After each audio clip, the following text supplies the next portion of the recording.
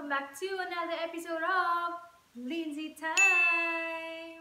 In today's video guys, I'll be sharing to you my experience on the DMV written exam here in California because today guys, I just took my DMV written test for the first time and I passed it with just one try. So I just want to make this video for you guys to give you some tips and share to you the questions I encountered during the exam. So if you want to know, just keep on watching.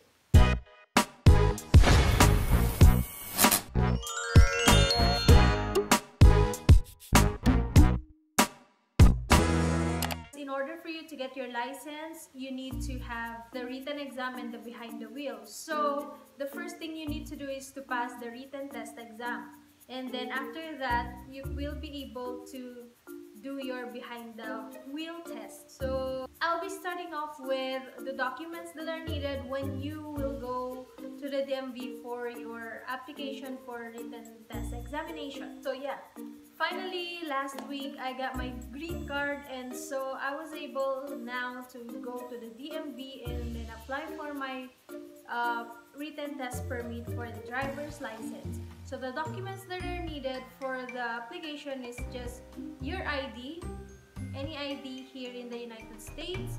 So for me, I'm on my permanent residence, so I showed my green card and then they also will require you to show your social security number and then last one is your proof of address. So any utility bills or any papers that has your address, you can show that off. So yeah, those are the three requirements in applying. So the trick guys for you to be able to skip the line and you won't be able to wait a little longer, you need to have your application done before you go to the DMV. So just visit their website, then have your online application there, and then have your confirmation number be printed, or you can use your phone to take a photo of it and then just show it later on to the security guard there who will ask about your confirmation so that you will skip the line. you know what I mean?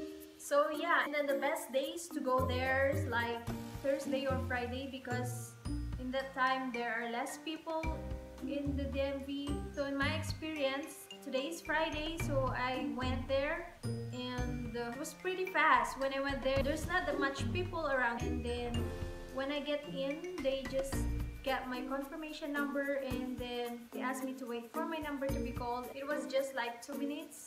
After that, I went to pay and everything. After paying, I went to the photo booth to take my photo and fingerprint and then after that I just waited for my name to be called to take the exam. So I'll be sharing to you guys how did I review my test for DMV. Actually guys, I've been driving in the Philippines so I know something about driving. But here, there's a lot of law that you need to follow and everything because in the Philippines, you just drive and they're not really strict with the rules. But here, you really, really need to follow. So you really need to know all the rules on the road like that. I first started my review by reading the handbook. So I have the 2018 handbook and I read that twice. And then I'm just watching videos here on YouTube, the Q&A questions. And then yeah, it really helps a lot. Questions that I've been reviewing on the YouTube videos came out on my exam as well. So it's really nice that some people are sharing too. That's why I'm sharing my experience as well. And also I've been answering the sample questions on DMV site.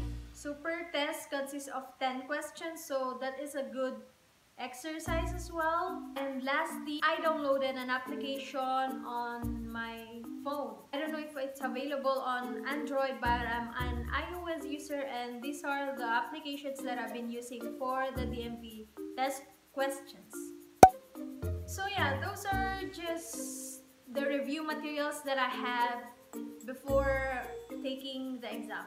So by the way guys, I took the computer exam. So at first, I really don't want to take my exam on the computer because I'm better at the written, like a paper in front of me. But the lady said that in taking the exam, you are allowed to take three tries. If you didn't make it on the first try, you can do a second time and the third time at the same day or anytime you want or when you're ready. So she said that if I want that paper, I can only do that on my second try. So meaning on the first try, I need to use the computer. I have no choice but to use the computer and it's touchscreen. And if you choose your answer, it won't go right away. You need to always select the submit button if you're final with your answer. And then if you are unsure with your answer or you don't want to answer that questions that one question particularly, you can skip it, but you are only allowed to skip three times and then the questions that you skip will be shown at the end of your test. So yeah, in my experience, I just tried skipping one question because I wasn't sure, but I got it right.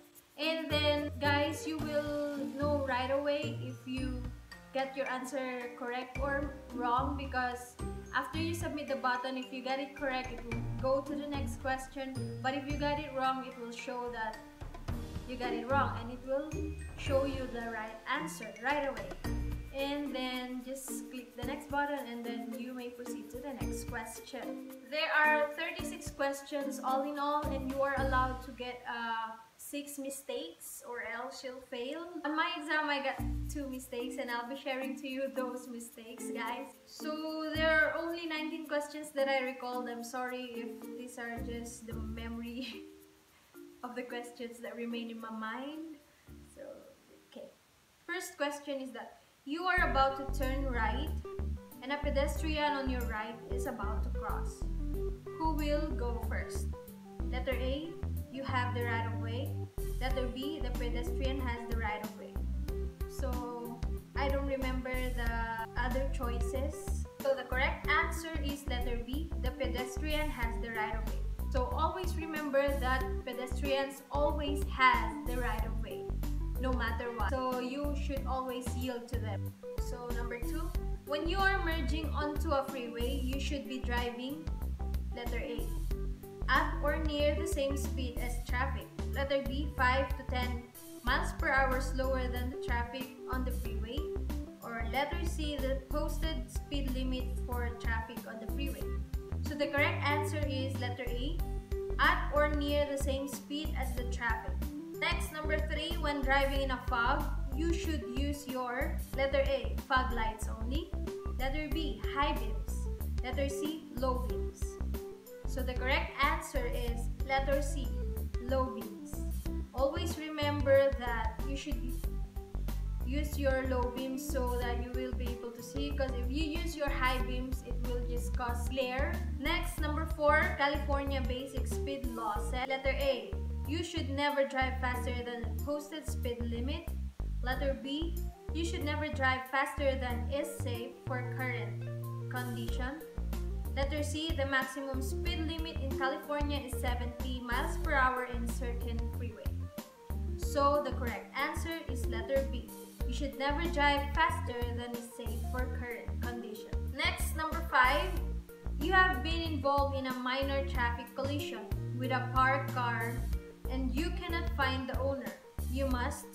So the answer is leave a note on the vehicle. So give your name, your address, and your phone number.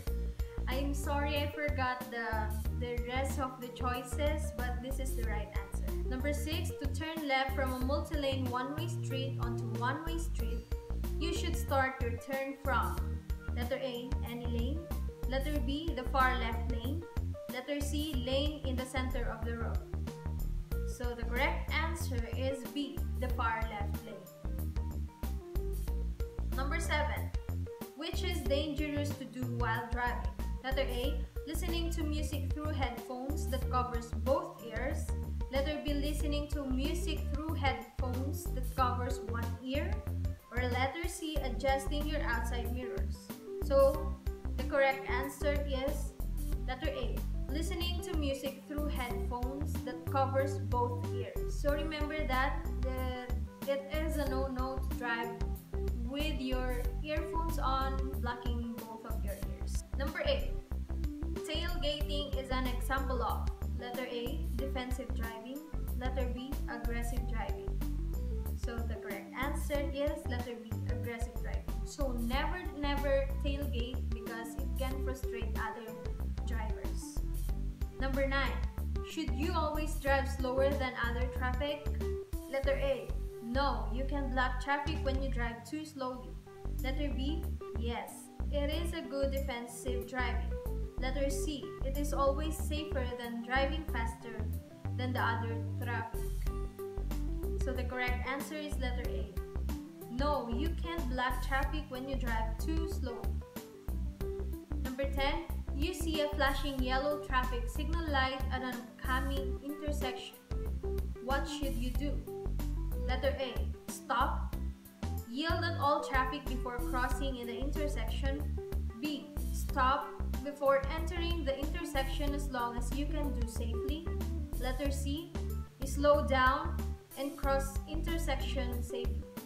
So the correct answer is letter C. Slow down and cross intersection safely. Number 11. It is illegal for a person 21 years of age or older to drive with a blood alcohol concentration BAC of that is blank or higher. Letter A. 0.10%. Letter B. 0.08%. Or letter C. 0.05%. So the correct answer is 0.08%. Letter B. Number 12. You are on a left lane and a vehicle behind you wants to pass you. What should you do? Letter A. Maintain your speed and stay on your lane. Letter B. Move to the left shoulder and stop. Letter C. Maintain your speed and move to the right lane when it's safe. So the correct answer is maintain your speed and move to the right lane when it is safe. Number 13. Whose responsibility it is to know your medications affect your driving? Letter A. Your pharmacist. Letter B. Your physicians. Or letter C. Yours. So the correct answer is yours. You have the responsibility to know the side effects of your medications. Number 14. This middle lane of a two-way street is used to Letter A. Pass other vehicles when there is no oncoming traffic. Letter B. Make right turns when there is no oncoming traffic. Or letter C. Begin or end left turns or start permitted U-turn. The correct answer is letter C. Begin or end left turns or start a permitted U-turn. When you approach a roundabout, you must enter to the blank of the central island. Letter A, left. Letter B, right. Letter C, corner. So the correct answer is letter B, right. Number 16. So this question is my first mistake. I got it wrong. On a weather condition which your windshield wiper is turned on high, what else do you need to turn on? Letter A, headlights. Letter B, window defroster. Letter C, fog lights. So the correct answer here is headlights.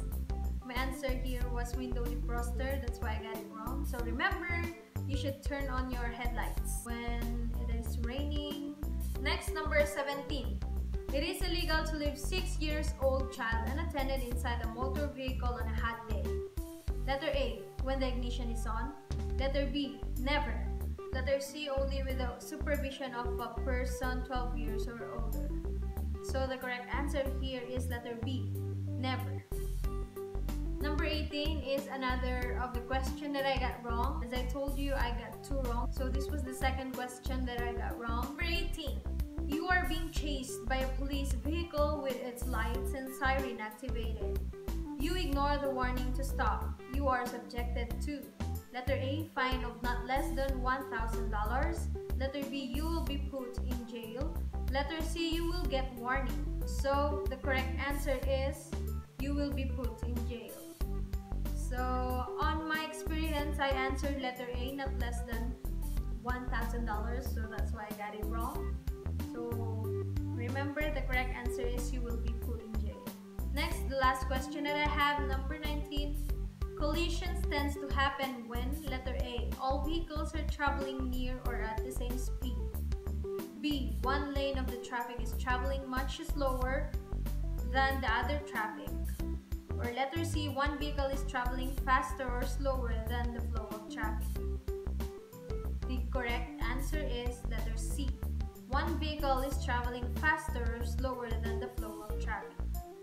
So yeah guys, I hope you learned something from me and those are the questions that I was able to recall during my written test examination from the DMV here in California.